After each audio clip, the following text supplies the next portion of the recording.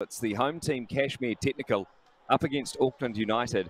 Cashmere comes into this game after being the runners-up in the Southern League, while Auckland finished third in the Northern League. Balls and variations coming into the National League. The kick downfield. Here's Cashmere's opportunity, and he's got it in too. Completely against the run of play. Cashmere draw first blood, and it's number seven, Jacob Richards. That was a good nudge downfield. Uh, but the chase there from Richards up for the task just over the top. But they haven't managed to uh, get it out of any sort of trouble yet. Opportunity there, kick over the top. Great save there from the keeper. Nice little kick through to Vollenhoven.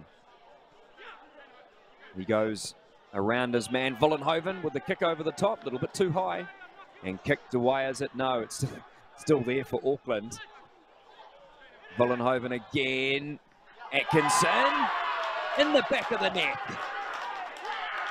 There's the equaliser. This is where it came from. Vollenhoven, I thought he may have had a strike there, but Atkinson was in some space. Nice little chip. And it was an attempt there from El Khalisi. But they get it back off the crossbar. And it's encouraging to see that both teams pretty much.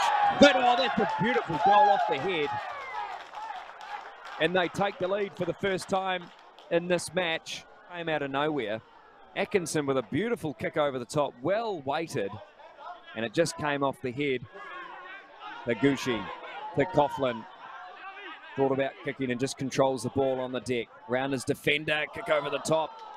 And the whistle goes, and the referee signals full time in this match here at English Park in St Albans.